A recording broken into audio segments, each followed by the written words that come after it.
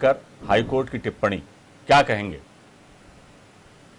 सबसे पहले तो अविनाश इसमें वर्तमान कोरोना की जो स्थिति है उसके बारे में हम अपने आपके माध्यम से हम अपने व्यूवर्स को अपडेट कर दें।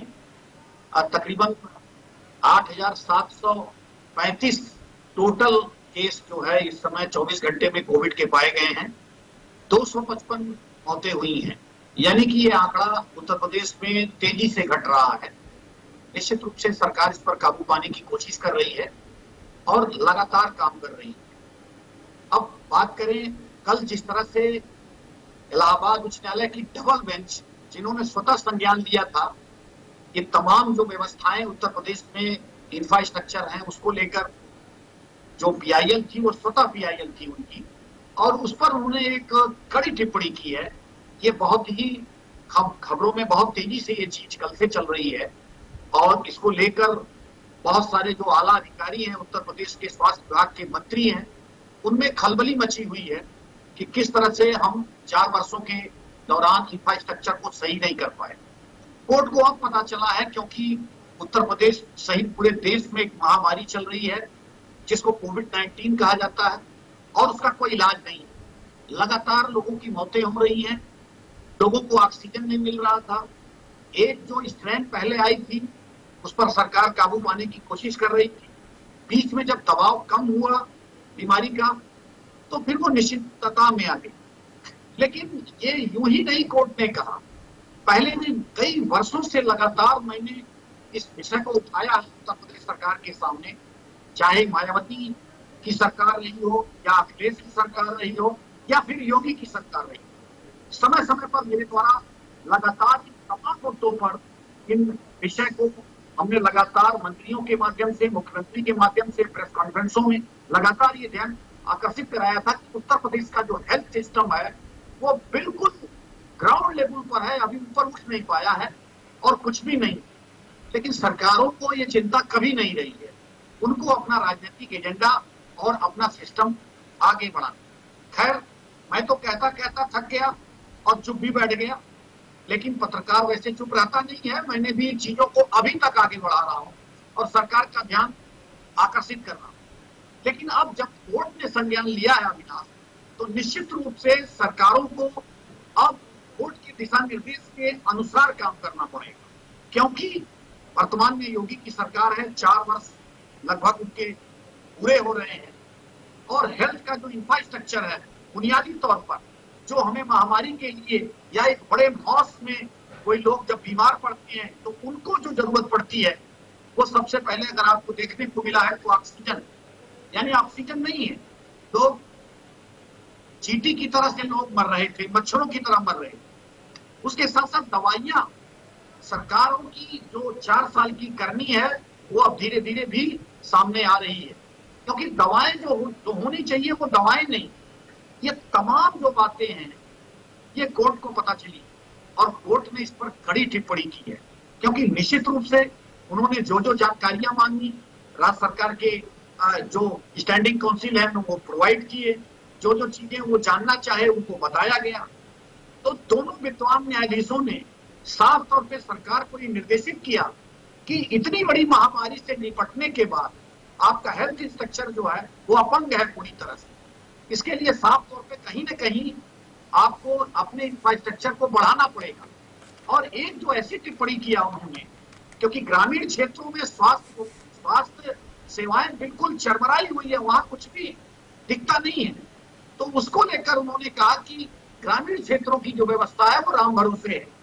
निश्चित रूप से उन्होंने कुछ कड़े फैसले सरकार से लेने के लिए कहा है। जिस तरह से प्रयागराज की बात करें, लखनऊ की बात करें अन्य जो जनपद हैं, इन तमाम जनपदों में हालाँकि सरकार ने बेड बढ़ाने का काम किया है, लेकिन उनका साफ़ तौर पर यह कहना है कि जो एस है लखनऊ का, उस स्तर का अस्पताल आपको कम से कम पाँच अस्पताल बनाने पड़ेंगे। उसमें गोरखपुर, प्रयागराज, कानपुर, इस तरह की बात उन्होंने पाँचों जनपदों के लिए कही। और उसके साथ साथ जो ग्रामीण क्षेत्र है, उत्तर प्रदेश का, वहाँ हेल्थ इंफ्रास्ट्रक्चर को बढ़ाने की बात कही। कोर्ट ने सीधे तौर पर सरकार को एक तरह से सुझाव दिया है जी। अगर जो इंफ्रास्ट्रक्चर है ग्रामीण क्षेत्रों में उसको आप बढ़ाइए तब जाकर जो है इन लोगों को रिलीफ मिल पाएगी। और निश्चित रूप से कोर्ट का कोर्ट का ये बहुत बड़ा आदेश है उनका बहुत बड़ा सुझाव है। और अब देखना यह है कि सरकार कितनी तेज़ी से और कितनी जल्दी ये काम करती है भट्ट साहब एक बात और भी देखने में आई है। अब 2022 में उत्तर प्रदेश में चुनाव है। सारा वक्त, आधे से ज़्यादा वक्त आप और हम सब जानते हैं कि चुनाव में ही हमारे देश में चला जाता है। फिर चाहे वो पंचायत के चुनाव हों, विधानसभा के चुनाव हों, और भी कई किस्म, कई तरह के चुनाव का जो है दौर दौरा लगा रहता है पूरे पाँच साल। और उसके बाद सरकार जब तक कुछ कर पाती है स्वास्थ्य के क्षेत्र में, शिक्षा के क्षेत्र में, तब तक फिर चुनाव आ जाते हैं। तो यही स्थिति फिर एक बार उत्तर प्रदेश में भी बनने वाली है। लेकिन ये जो कोरोना महामारी है, इसे एक सबक की तरह भी सरकारें लें कि जब महामारी में हम किस तरह से हमारी तैयारियाँ थी, किस तरह से हम कई जगह पर हमारी हमसे चूक हुई, और जब इतनी संख्या में जब संक्रमित निकले, उनको वो इलाज की ज़रूरत पड़ी तो दवाओं की कमी सामने आई, कई तरह की दिक्कतें सामने आई, ऑक्सीजन की कमी सामने आई तो अब जाकर जो स्थिति बन रही है भट्ट साहब और हाईकोर्ट ने भी अब तल्ख टिप्पणी करी है सरकार के ऊपर और कई निर्देश भी दिए हैं। तो अब ज़रूरत हो जाती है कि महामारी तो आज है, आने वाले दिनों में खत्म भी हो जाएगी, ये भी तय है। लेकिन स्वास्थ्य सेवाओं के लिए एक बेहतर इंफ्रास्ट्रक्चर बनाने की अब बहुत ज़्यादा ज़रूरत है, क्योंकि आम बीमारियों को लेकर भी ऐसा नहीं है कि कोरोना महामारी आई तभी हमारे हाथ पाँव फूले और हमने जो है आनंद फानंद में इलाज की व्यवस्था की, लोगों को राहत देने की बात कही। आम दिनों में भी जो है स्वास्थ्य सेवाओं को लेकर सवाल उठते रहते हैं और उत्तर प्रदेश चूँकि इतना बड़ा राज्य है, करोड़ों लोग वहाँ पर निवास करते हैं।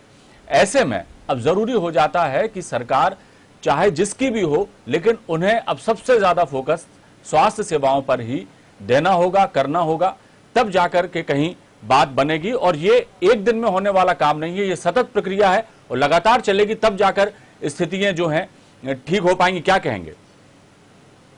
अविनाश देश में या प्रदेश में टूल किट पर बहस के बजाय अगर इसी मुद्दे पर बहस हो जी। और साथ साथ इंफ्रास्ट्रक्चर को बढ़ाने की पर बहस हो जो हेल्थ सेक्टर में हम ज़ीरो पर यानी ज़ीरो पर कहा जाए। अगर कोई देश किसी अन्य छोटे देशों से जो देश खुद अपने संसाधन में जी रहे हैं और वो दूसरे के संसाधनों पर भी निर्भर है और उससे सहायता ले तो निश्चित रूप से हम बहुत पीछे हैं। स्वास्थ्य सेवाओं का हाल जो उत्तर प्रदेश में है, सही देश में है, ये पूरी जनता के सामने उसकी पोल खुल गई है। लेकिन विगत कई वर्षों से लगातार इस मुद्दे पर मेरे द्वारा इसको आगे ले जाया गया, क्योंकि एक सजग पत्रकार होने के नाते पूर्वानुमान से मैं एक चीज़ें जानता था कि अगर भविष्य में कोई बड़ी घटना हुई, महामारी आई तो उत्तर प्रदेश में बहुत ज़्यादा मौतें होंगी, लोगों को सुविधाएँ नहीं बढ़ेंगी और सबसे बड़ी बात यह अविनाश, उत्तर प्रदेश की जो आबादी है तकरीबन साढ़े तेईस करोड़, उस साढ़े तेईस करोड़ के हिसाब से उत्तर प्रदेश में डॉक्टर नहीं है। पाँच हज़ार से ज़्यादा डॉक्टरों की कमी है, पैरामेडिकल स्टाफ नहीं है। उसके साथ साथ जो उत्तर प्रदेश मेडिकल कारपोरेशन है, वो पूरी तरह से फेल है, काम ही नहीं करता है। दवाएँ जो है, वो बहुत ही लोकल कंपनियों की है, जो बार बार कंपनी उसको खरीदती है कारपोरेशन और फिर बंद कर देती है, क्योंकि वो दवाएँ रिएक्शन करती हैं, गलत करती हैं। तो ये तमाम चीज़ें पहले से नहीं हो पाई और उसके साथ साथ स्थितियाँ खराब होती चली गई। क्योंकि ऑक्सीजन की अगर बात करी जाए तो ऑक्सीजन की बात 2019 में मैंने उत्तर प्रदेश के मंत्री से स्वयं कहा था। स्वास्थ्य मंत्री से कि आप ऑक्सीजन प्लांट और जो इंफ्रास्ट्रक्चर है हॉस्पिटलों में, उसको आप अपग्रेड करिए। और वही बात आज कोर्ट भी कह रही है। हर जनपदों में कह रही है कि ऑक्सीजन प्लांट लगाइए वहाँ पे। लेकिन सरकार कुछ करना चाहे इच्छा शक्ति की बात होती है और निश्चित रूप से इस बड़ी महामारी से निपटने के लिए कोई तैयारी नहीं थी, उतनी ताकत नहीं थी। ये कहीं ना कहीं, ये ये मुख्यमंत्री को इसमें दोष नहीं दिया जा सकता है। जो अधिकारी हैं, वो निश्चित रूप से कहीं ना कहीं उन्हें गुमराह करते हैं। एक ऐसा, ऐसी चीज़ वो दिखाते हैं, जो बिल्कुल संभव नहीं है, जो कल्पनाओं से परे रहता है। और निश्चित रूप से जो है, फिर वो चीज़ आगे बढ़ नहीं पाती है। ये फेलियर है उन अधिकारियों का, जो इतने वर्षों में लगातार ऑक्सीजन प्लांट नहीं लगा पाए। मेरे पास तमाम वो कागजात और डॉक्यूमेंट्स हैं, जो उत्तर प्रदेश सरकार के फाइलों में गुम हो गए ये ऑक्सीजन प्लांट नहीं लग पाए डिस्ट्रिक्ट हॉस्पिटल में। उत्तर प्रदेश सरकार का अपर मुख्य सचिव, भारत सरकार से पैंसठ करोड़ रुपए माँगता रह गया ऑक्सीजन प्लांट लगाने के लिए। लेकिन भारत सरकार ने नहीं दिए। ये तमाम चीज़ें प्रमाण रूप से हैं। ये सरकार को मंथन करना पड़ेगा अविनाश, निश्चित रूप से देखना पड़ेगा। और कोर्ट को देर सवेर ये बात पता चली है। अब सरकार को चेत जाना चाहिए, गंभीर हो जाना चाहिए, अपनी इंफ्रास्ट्रक्चर को आगे बढ़ाना चाहिए। अब ऑक्सीजन की बात हो रही है जगह जगह प्लांट लगाने की बात हो रही है। उसके साथ साथ अभी भी उत्तर प्रदेश में जो दवाएँ सप्लाई हो रही हैं, वो बहुत ही निम्न क्वालिटी की हैं, घटिया क्वालिटी की हैं। जो दवाएँ असर नहीं करती हैं इन तमाम चीज़ों को छानबीन करने की ज़रूरत है जाँच करने की ज़रूरत है। ब्रांडेड कंपनियों की दवाएँ क्यों नहीं दी जा रही हैं? क्या वो महँगी है? हमारे जो उत्तर प्रदेश का जो निवासी है जो बीमार है उसको क्या अच्छी ब्रांडेड कंपनी की दवा खाने का अधिकार नहीं है? लेकिन सरकार क्यों नहीं खरीद रही है उसको? तो ये तमाम चीज़ों पर निश्चित रूप से ये विषय बहुत बहुत ज़रूरी है कि अब अब बिंदुवार हर एंगल पर हर बिंदु पर काम करना पड़ेगा सरकार को, तब जाकर के बात बनेगी। और रहा सवाल, अब जिस तरह से ये राहत वाली बात है कि कोरोना संक्रमितों की तादाद जो है अब धीरे धीरे कम हो रही है, और निश्चित तौर पर अभी दूसरी लहर का जो है असर अब कम होता जा रहा है। और फिर हम सामान्य स्थिति की ओर लौट रहे हैं। लेकिन तीसरी लहर आने के जो संकेत हैं, जो आशंका जताई जा रही है, उससे भी एक भय का वातावरण अभी बना हुआ है लोगों में। लेकिन अब इसमें सबसे ज़्यादा ज़रूरी है कि इस पीरियड में जब संख्या कम हो रही है संक्रमित मरीजों की, और तीसरी लहर अब कब आती है या उसकी जो आशंका है, उसको निर्मूल करने के लिए ज़रूरी है कि अब वैक्सीनेशन पर विशेष ध्यान दिया जाए।